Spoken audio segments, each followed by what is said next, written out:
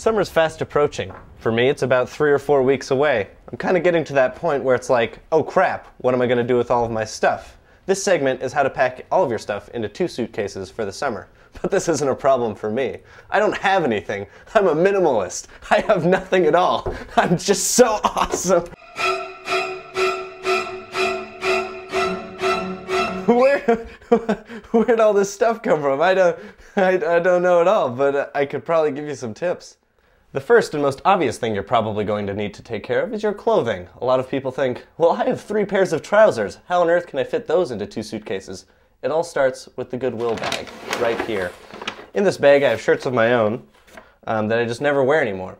I also have shirts that uh, don't belong to me, nor do they belong to anyone else in the apartment. I don't know where they came from or how they got here, but I do know that they're guys' shirts. That's a little concerning. Anyway, I'm giving all of these to Goodwill.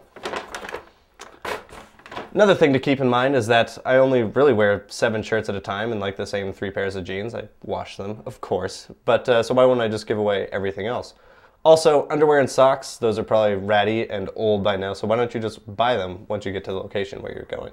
Second thing you'll need to worry about is all the boxes under your bed. They say you can tell everything you need to know about a person based on what's in their boxes. I have a lot of uh, wires.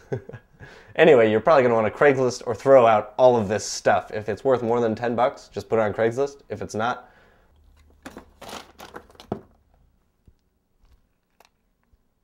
throw it out. The reason why you want to do all this is because you want to consolidate everything into one box. Why?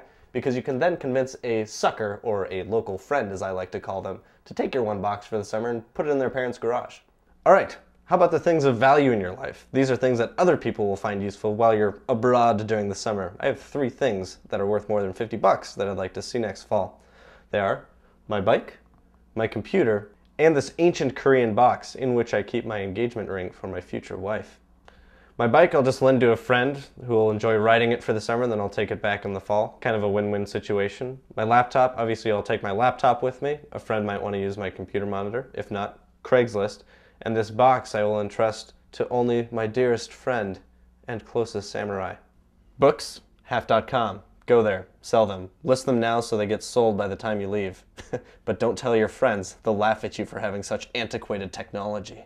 That was how to pack your entire life into two suitcases for the summer. Life is so easy being a minimalist. Oh, sh.